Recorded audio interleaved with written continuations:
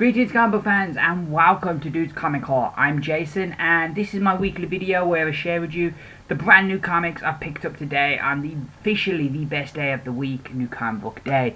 Uh, it was a bit of a rush today. I didn't think I was going to be able to get my books. Um, I got into into the city centre at like 20 past 5 and my comic shop closed at half 5. Lucky the train station has this new exit that is just like the road next to my comic shop. So like I dashed down that road and I managed to get there and get my books. So um, and like this week there was nothing off the shelves. Everything was off my pull list. So it was really quick and easy. Um, first things first, I got a free book, which is always great. It's a, a issue of previews, all to do with Secret Wars, which is a, a, a, which is like a good idea to give this away free. Um, as like all the different books they're bringing out for Secret Wars, it has a little like, you know, like here we got Planet Hulk, and you get a few pages out of each one. I don't know if all all comic shops are doing this, uh, but I do think that's a really good idea. With this being the week Secret Wars comes out, uh, give away a free previews, let people know what's coming up, and and and what might get people excited. I, I think I think that's a very good idea. I don't know, if, like I say, I don't know if that's a uh, everywhere where comics are sold, if that's a thing, or if just my comic shop, but very good idea. Uh, so let's get into these books. Uh, 15 books I picked up this week, all off my pull list. We've got Convergence, issue number 5. Um, I enjoyed last week's. Um, I felt it was a lot better. Um, still not great, but it was uh, it, it was improving. So we'll see here. From that cover, we've got uh, Warlord and uh, Deimos uh, fighting it out, and so yeah, um, we'll see what happens there. But definitely, it was getting better. Uh, we then got our second part of all the Convergence books from last month. So we got Batgirl, uh, issue two, which that was good last month. I actually I enjoyed this one. Um, I, I Stephanie um, I is a character I didn't really know uh, before. I'd not really read this character until the new 52 uh, and I liked her version there and so here she is as, as Batgirl so yeah I enjoyed the first one of this it was good um, we have Justice League um, issue number 2 uh, Convergence Justice League so that should be interesting. All the female kind of characters from Justice League and Aquaman is going to take this version of Mera because uh, his, his Mera from the Flashpoint world um, is dead so he's going to take this other one so which is a bit weird but hey um, so, so I enjoyed the first one on that we've got Speed Force issue 2 which has the Flash versus uh, Wonder Woman from Flashpoint so that looks a bit of fun uh, we have Superman which was one of my favourite um, Convergence books. Love that issue number one. So I'm really looking forward to seeing what we're going to get issue two. Um, but yeah, it's got a lot to live up to. A bit disappointed we haven't got Lee Weeks, who was the artist from the first one. It's a different artist on this one. Ramond. Um, let's have a look. See if we can get a first name. Um, no, the, the, you, you know, all these books, there's never when you want uh, to know a name, it's always somewhere else. But yeah, uh, disappointed that Lee Weeks isn't still on this. You'd have thought for the two issues they'd have got the same artist, but hey, uh, hopefully that's going to stay as good.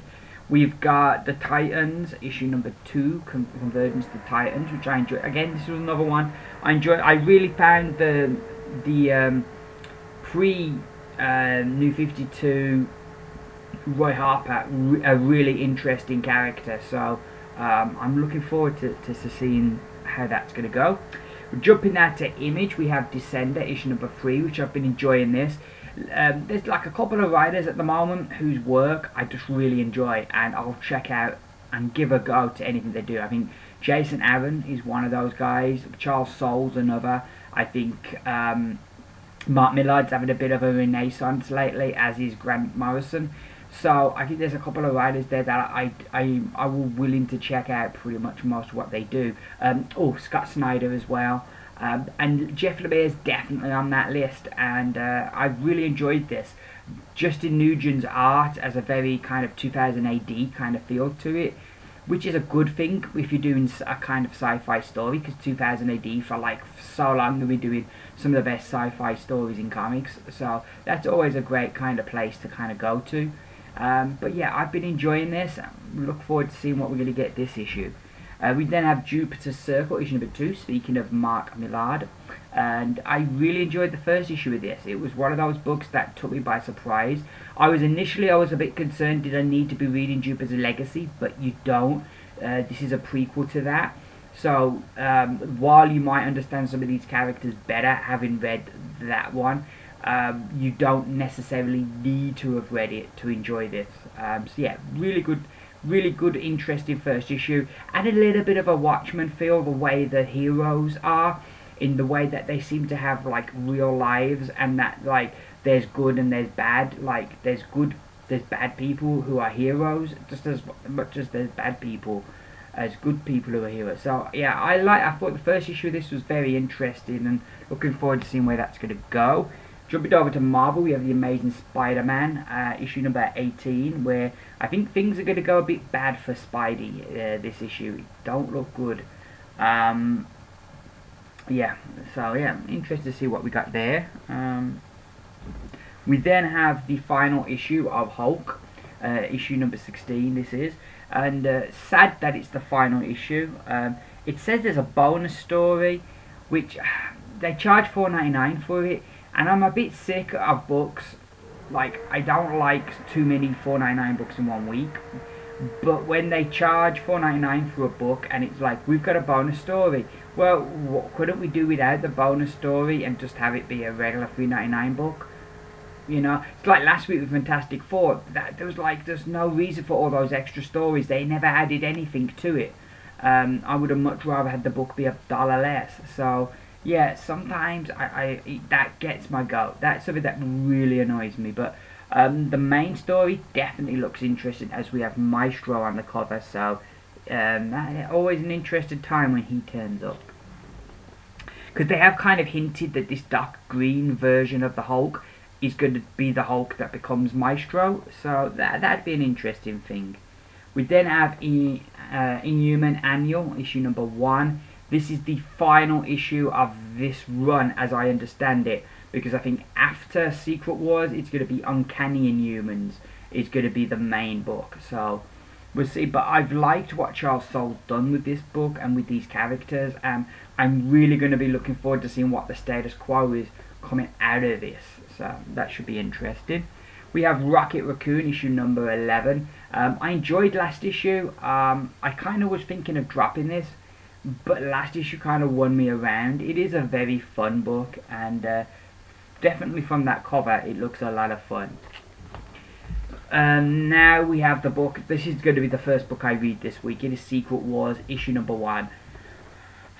I know I shouldn't, but I can't help but get a bit excited. Um, it feels special. The cover is like I don't know how you describe this, but it's re- they've really gone to town, giving us a special cover. Um, so that's really cool. Um, Secret Wars, the original Secret Wars, was the first comic I bought regularly, and so it's always got a special place in my heart, and introduced me to so many heroes and villains, and was just a great book to read as a kid. So this this is gonna have kind of like really have have high standards for anything that's got Secret Wars on it. I'm always gonna have high standards for. So I'm looking forward to reading this and getting into this and finding out what what what this is going to be about. Um, I know I shouldn't get excited because so I, I don't I don't I can't remember the last event that I read where I enjoyed it all the way through. That it lived up. Like um, Spider Verse, I really enjoyed, but I did feel it it kind of got to a point where there was just too much Spider Verse, and I got Spider Verse out before we got to the end. Uh, but that was a pretty good event, but there haven't been that many good events over the last couple of years, so I'm just really hoping that this is going to be a good book. Uh, some of the tie-ins look really interesting, uh, but you want your main book to be a good book.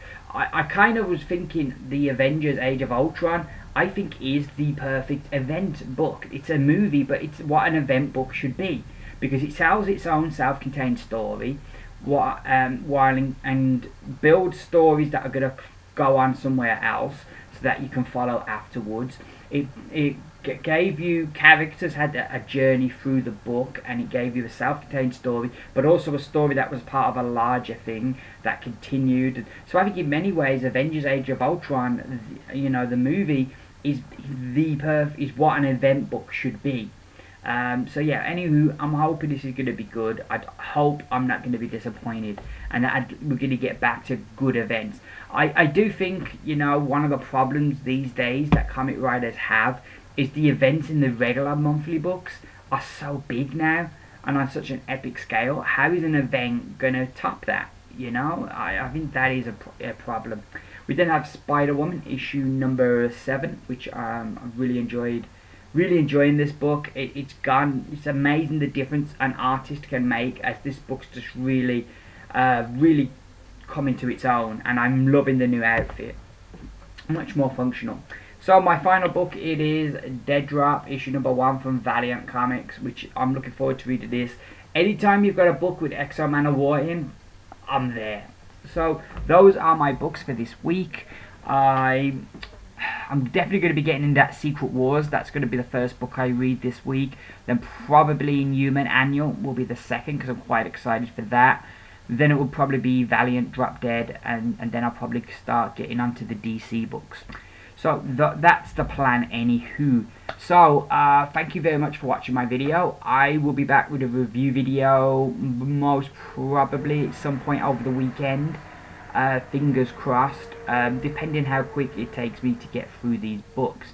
Um, and then I will be back next Wednesday. At last, I've got a day off on a Wednesday, so I will be able to get my books next Wednesday.